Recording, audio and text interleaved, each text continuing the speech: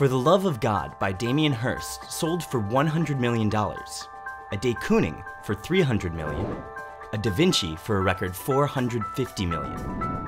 Since the dawn of time, whether it be for survival or social capital, people have collected things. It's just that nowadays, things are exchanged for money, and some things for a lot of it. A diamond skull you can hold in your hand, or a painting you can hang on your wall, their value is determined in part by scarcity, but also by the fact that they exist in the material world. How then is it possible for a CryptoKitty, which isn't even a physical object, but just a code written on a blockchain, could sell for $140,000? And it is sold for $140,000. And this CryptoKitty isn't the only so-called blockchain collectible to be sold at such a ridiculous price. This CryptoPunk sold for 16,000. Homer Simpson meets Pepe the Frog was sold for a jaw-dropping 39,000. And with CryptoKitty's total sales bringing in $25 million, they are by far not the only game that's trying to turn code into gold. Everything uh, in blockchain games costs real money. You have to make a decent investment to begin with. It's accessible to everyone. So, what are blockchain games? And why do people invest so much time and money into them? Blockchain games are built using distributed ledger technology, and most of them, like CryptoKitties, are being built on the Ethereum blockchain. Objects that are written to blockchain has an objective history to them.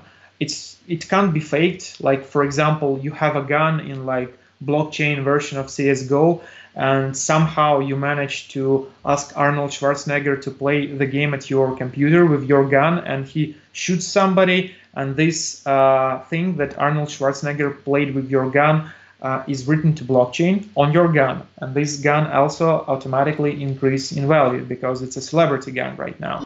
Each CryptoKitty is what's called a non-fungible ERC-721 token. Non-fungible means that unlike Ethereum or Bitcoin, each ERC-721 token is one of a kind. So each kitty you own is a unique kitty, making it rare and scarce, and most importantly, owning the token means you own the CryptoKitties code.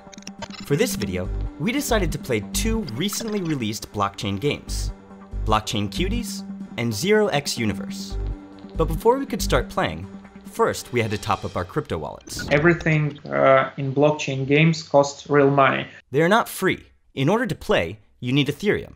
But think of it as an investment, but more on this later. So, here are the blockchain cuties. Think CryptoKitties, but cuter, possibly. Each player receives a free trial cutie, but this disappears once you breed your first one. The real serious players want what's called a Generation Zero cutie.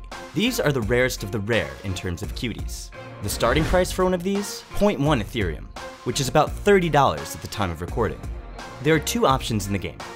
To breed your own cutie with a unique genome, or to send it on what the developers decided to call adventures, where it will fight with other cuties.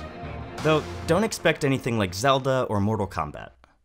We put our cuties on the battlefield, and they fought surprisingly well. Wins strengthen and give experience to the cuties, which increases their value. So, later on, you can sell them for a profit. We also played Zero X Universe. The idea of this game is to collect planets and build your own universe. Without going into too much detail, we pretty much just launched a bunch of rockets to go and look for new planets, with a few of them never returning apparently lost in space. But since we didn't discover any planets, we decided to buy the coolest looking planet we could. Blockchain games are all about money.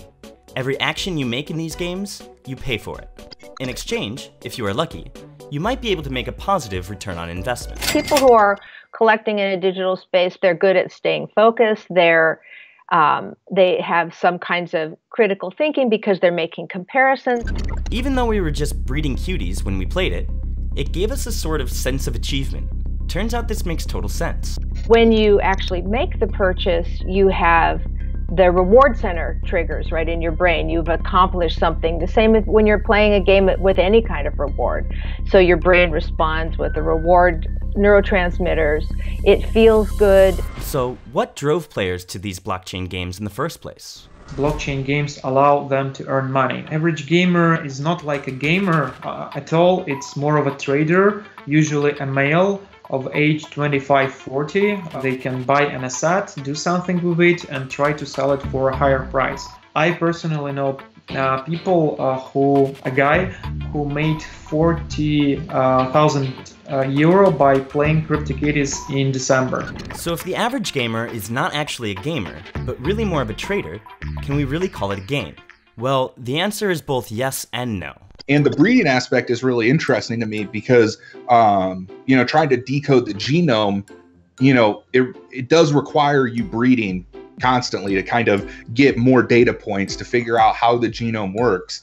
Um, and that portion, that puzzle of the game, is one of the most intriguing things in blockchain cuties to me. But what really makes these games popular is the fact that these blockchain cuties, or kitties, or planets, or whatever else, they are essentially a cryptocurrency, which you can buy, sell, or hold. And as cryptocurrencies are extremely volatile, so are the games that use them. If crypto completely crashed to the ground, um, yeah, I would probably stop playing blockchain cuties. And that is what happened to blockchain games. Since the release of CryptoKitties in 2017, the number of daily users has dropped by 96%, from 14,000 to around 500 less than a year later. These collectible games obviously resemble gambling, and like a casino, the house always wins. There might be a few lucky success stories, but there are certain behaviors to watch out for. Electronic funds are quite hard to keep track of mentally for people when they're doing their mental accounting. When you then put that into cryptocurrency and you're gambling at decimal points, it's very difficult for individuals to really easily track how much they're winning and particularly how much they're losing. When it starts to become problematic is when people are gambling more than they can afford to lose, when it no longer is just a fun, entertaining leisure activity. But on the other hand, these games are about collecting, not about betting. So what compels people to play? These objects are now a part of how they see themselves or a part of their identities. People collect because these objects have meaning to them, and by accumulating them, it also gives them a sense of competence or self efficacy, and it gives them social capital. It gives them something to talk with other collectors about, to show that they're knowledgeable, that they have these these assets. Although we were not constantly breeding like Risco, it was fun playing both Cuties and Zero X Universe. It is hard though to justify spending $40 on a digital planet, and even more on the Cuties. Furthermore, over the time we spent playing, the crypto markets had dropped substantially, and the value of the Cuties, planets, and most of the collectibles have followed suit. Blockchain created digital scarcity. While it is true that the code behind the pixelated character is unique, something almost completely identical is so easily reproducible that the idea of uniqueness is almost meaningless. What is really being created is just artificial scarcity. So far, these collectible games don't offer very much to gamers. Their survival, it seems, depends on whether they can offer gamers more than just a trading platform. The relationship uh, between player and developer uh, will uh, be more like an open market relationship rather than uh, it is a closed ecosystem relationship right now. As long as blockchain has to, we have a system where I'm going to have to pay gas to write to it, and it's going to take a decent amount of time. Um, I don't think that that's going to fit into something, let's say, World of Warcraft. This is the first generation of people that are collecting digital objects, right? If you collect paintings or sculptures or Dresden dolls or whatever, then you can pass those down. How does this pass down. So, whether or not the idea of blockchain games appeals to you, their existence raises some interesting questions about value, scarcity, gaming, and even ownership. Tell us your thoughts and your gaming experiences in the comment section below. Cointelegraph. Like, subscribe, and hodl.